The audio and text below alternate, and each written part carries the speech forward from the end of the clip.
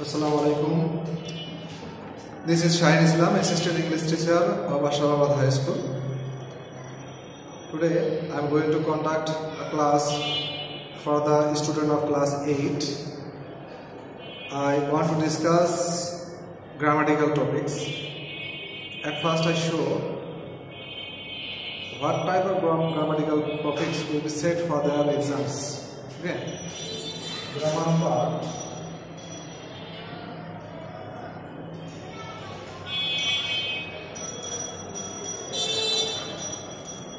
Grammar parts 25 marks okay গ্রামারের অংশ থাকবে ক্লাস এইটে পরীক্ষার গ্রামার অংশ থাকবে twenty five marks twenty five মার্কসের মধ্যে এখানে থাকতে পারে কি কি? যেমন changing sentences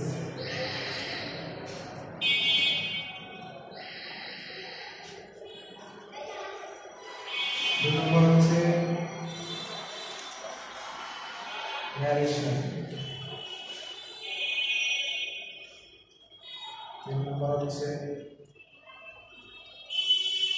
use of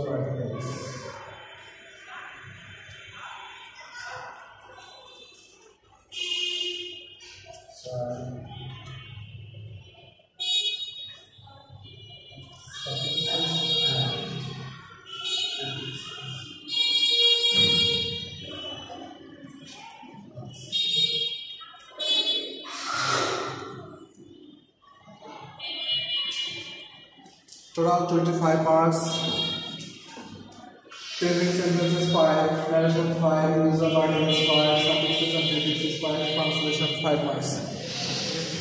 At first, I will try to discuss changing sentences.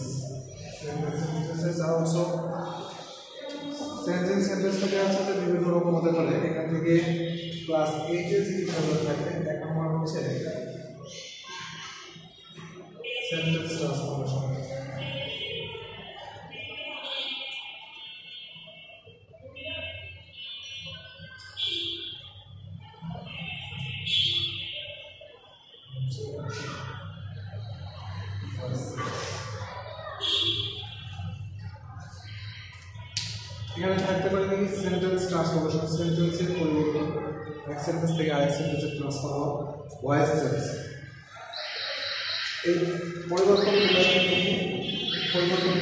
শিখতে হবে আমি প্রথমে আছে আজকে সেন্টেন্স ট্রান্সফরমেশনটাকে আলোচনা করি সেন্টেন্স ট্রান্সফরমেশনটা কীভাবে করা We know that according to the meaning, sentences are of five types. According to the meaning, sentences are of five types. And according to the structure, sentences are of three types. In this, uh, for the class 8, only according to the meaning of sentences, এই পরিবর্তনটা এই পরিবর্তনটা সম্পর্কে পরীক্ষা আসবে।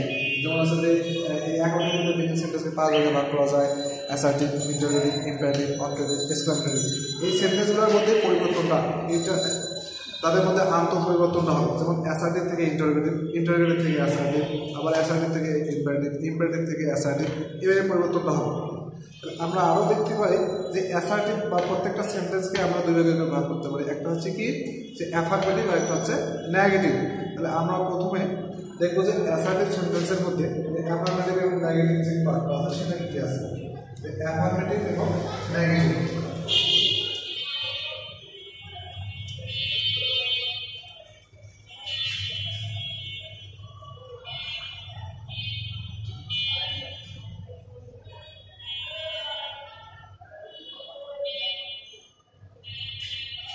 Affirmative to একটা affirmative মানে হা বোধক নেগেটিভ টু না বোধক হা বোধক সেন্টেন্স থেকে কীভাবে না বোধক সেন্টেন্সে আমরা যেতে পারি?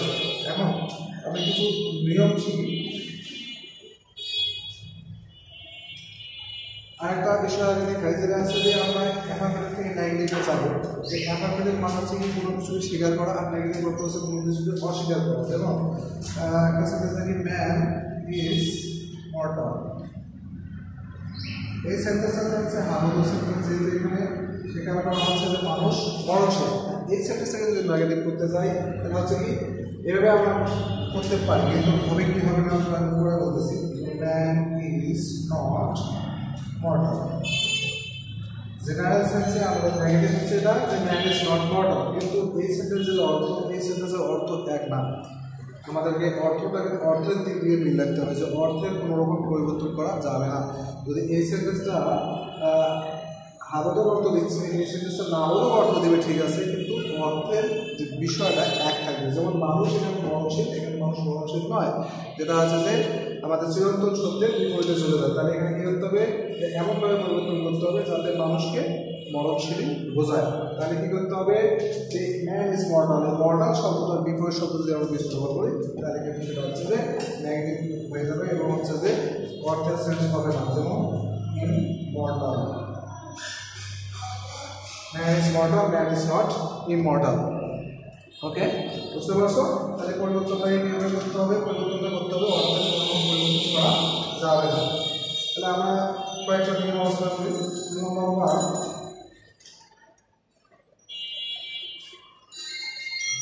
সেন্টেন্সে যদি অনলি বা অ্যালন থাকে অনলি বা অ্যালন সেন্টেন্সে যদি অনলি বা অ্যালন থাকে, তাহলে অনলি অ্যালন থাকলে আমরা কীভাবে পরিবর্তন করব? সেন্টেন্সে যদি অনলি অ্যালন থাকে অনলি অ্যালনের পরে অনলি অ্যালন এর পরে, এক নম্বর আছে, যদি আছে যে অনলি অ্যালনের পরে ব্যক্তি বা ব্যক্তিকে বোঝায় অনলি আরোগ্য যদি ব্যক্তিকে বোঝায় অনলি অ্যালন দিয়ে যদি ব্যক্তিকে বোঝায়, তাহলে অনলি অ্যালনের পরিবর্তে কি করবে? অনলি অ্যালনের পরিবর্তে নাম্বার বলবে। অনলি অ্যালন এর পরিবর্তে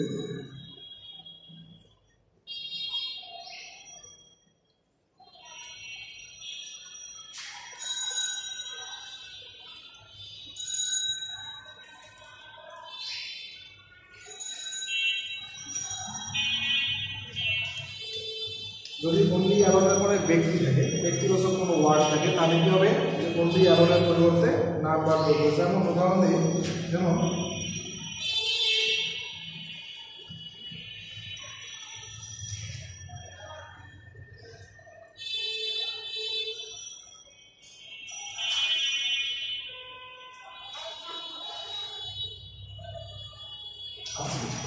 মনে হচ্ছে কোনো একটা কাজ আছে যেটা শুধু রহিম করতে পারে। Rahim only Rahim can do the work শুধু রহিমই সেই কাজটা করতে পারে অন্য সেই কাজটা করতে পারবে না।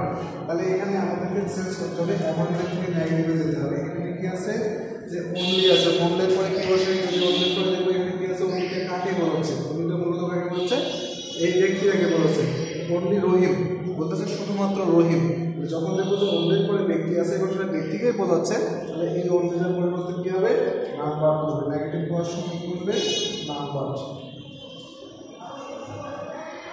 নাম্বার রহিম ক্যান বোঝা ওয়ার্ড শুধু অন্যটাকেই পরিবর্তন করতে হবে। আর অন্য কোথাও পরিবর্তনটা করা যাবে না। দুই নম্বর থেকে দুই নম্বর নিয়ে যায় যদি অমনি অ্যালোনের পরে যদি ব্যক্তি না থাকে যদি কোনো বস্তু থাকে, বস্তুকে বোঝায়, যেমন হচ্ছে বস্তু বস্তু কোনো জিনিস থাকে যদি অনলি অ্যালনের পরে বস্তু বোঝায়, তাহলে অনলি অ্যালনের পরিবর্তে কী হবে? তখন আসলে এই নাম্বার তখন হবে। বসা দেখতে হবে যে নাম্বার বার তখন কী হবে? তাহলে আমাদের কি একটা এক্সাম্পল দিয়ে দেখেছি অনলি অ্যালনের পরে বস্তু তখন হচ্ছে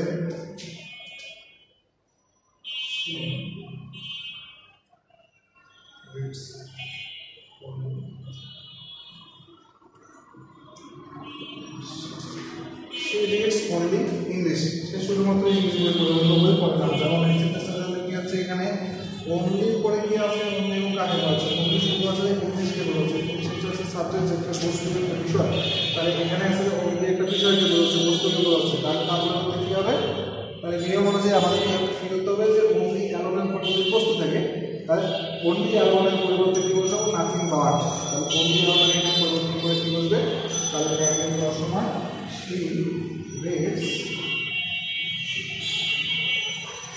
nothing but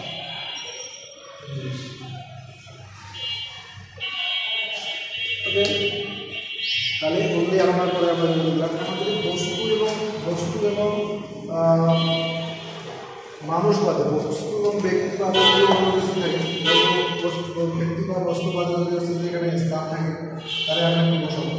স্থান থাকলে আমরা কি বসাতে পারি? বলো দেখি। স্থান থাকলে আমরা বসাতে পারি এখানে no higher but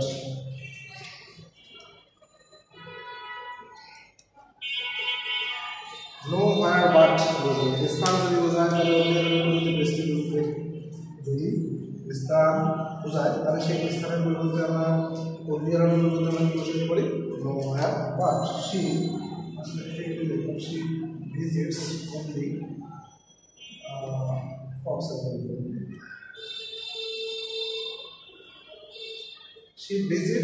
কক্সবাজার এখানে এই অনলিটা কাকে বলেছে? কাকে বলেছে? যে শুধু একটা মাত্র স্থানকে বলেছে, সেটা হচ্ছে কক্সবাজার। তাহলে এখানে আমরা কি করতে পারি? সি ভিজিটস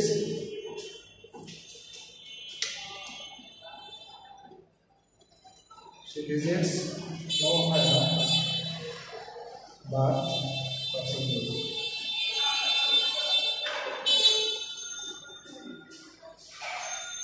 তাহলে সে visits no higher but Cox's Bazar আচ্ছা যদি স্থান বা ব্যক্তি বা যে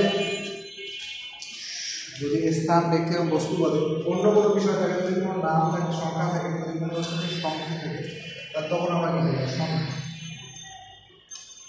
সংখ্যা থাকলে আমরা সেখানে কি করব? যে অন্ডি অ্যালোনার পরে সংখ্যা বোঝায়, সংখ্যা থাকলে অন্ডি অ্যালোনার পরিবর্তে তাহলে এখানে বসাইতে হবে নট মোর বা নট লেস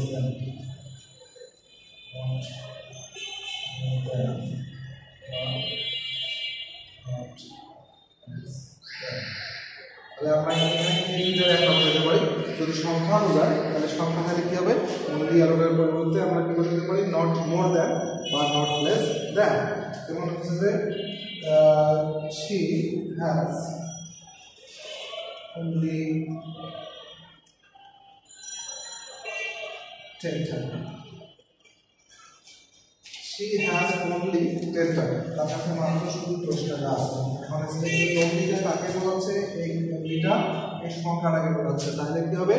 যদি কোনো সংখ্যাকে পরিবেশ হয় বোঝা হয় তাহলে সেই পরিবর্তে কি বলবে? নেগেটিভ করার সময় নট মোর দ্যান অথবা নট লেস দ্যান তাহলে she has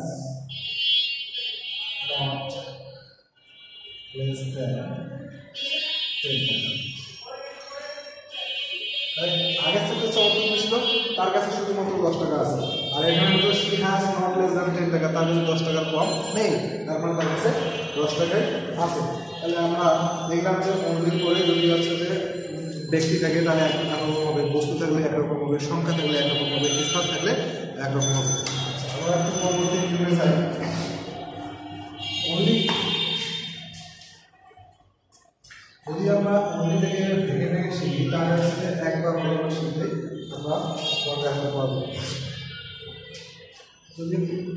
সেন্টেন্সের মধ্যে মাস্ট বা হ্যাভ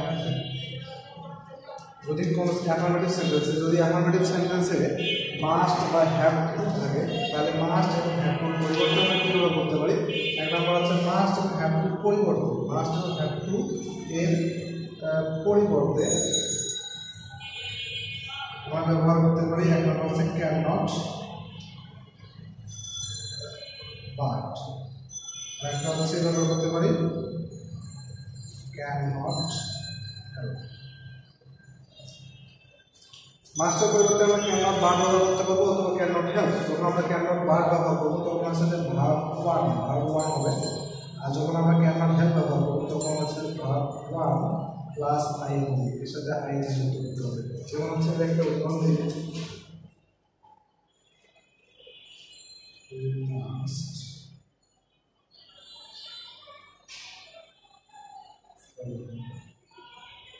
আর এটাকে যদি আমরা নেগেটিভ করতে চাই তাহলে কি হচ্ছে প্রথম আমরা করি প্রথম ক্লাসে মাসটা করতে কি বলবে ক্যান বা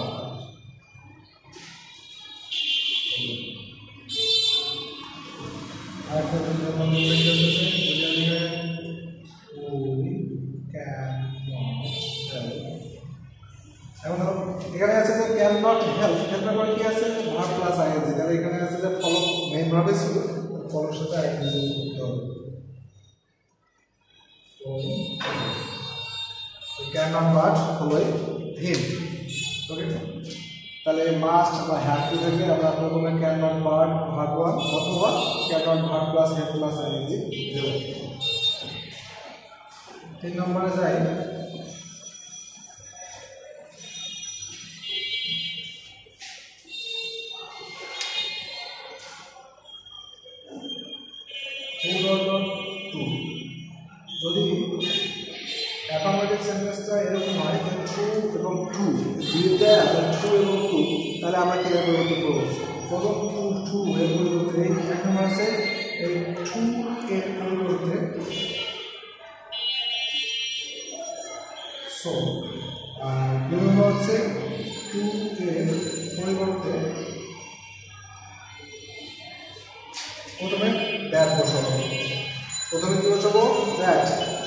এবং তারপরে দ্বিতীয় হচ্ছে ক্লাসে এই যে সেন্টেন্সটা থাকবে, সেই সেন্টেন্সটা একটা সাবজেক্ট থাকবে, সেই সাবজেক্টটা বসাইতে হবে।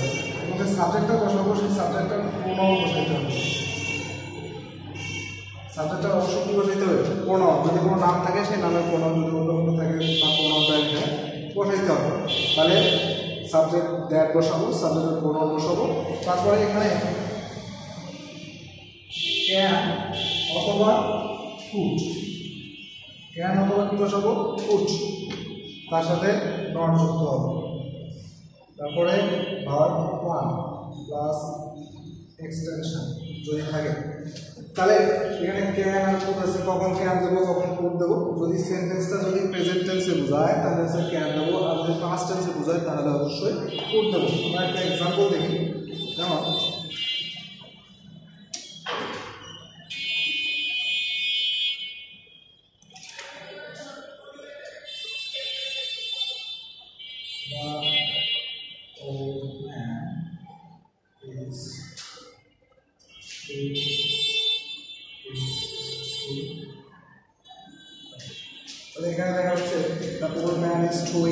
ওয়ান এখানে টু আছে, এখানে টু এখানে টু আছে, এখানে টু আছে টু এর পরিবর্তে কি বসাবো প্রথম পরিবর্তে সো বাকি সব আনসেন্স থাকবে।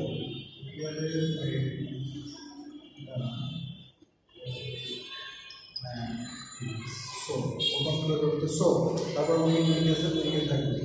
উইক টু এর পরিবর্তে কি বসাবো প্রথমে আছে দ্যাট দ্যাট দেবো তারপরে আছে সাবজেক্ট এটাকে সাবজেক্টকে the old man the old man তাকে বলছে একটি মানুষকে বলছে। এর প্রোনাউন কি হতে পারে? এই দ্বিতীয় একজনকে বলছে এটা কোন টেন্স আছে? ইজ প্রেজেন্ট তাহলে এখানে আছে can The old man is so weak that he can.